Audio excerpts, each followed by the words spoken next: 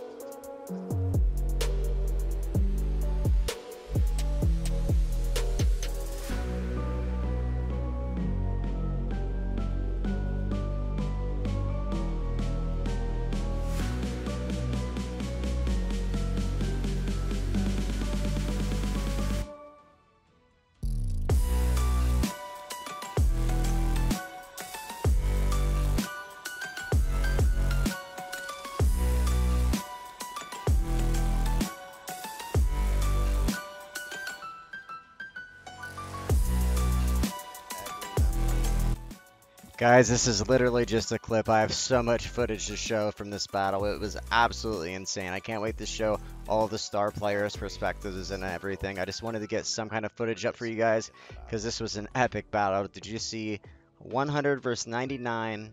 The two top alliances, everyone just instant speeding everywhere. Uh, yeah, that that was absolutely insane. I woke up at 9 a.m. with five minutes to spare, just like Crown War, and hopped on and recorded, and it I don't regret it one bit. Love you guys. I'll, I'll see you in part two.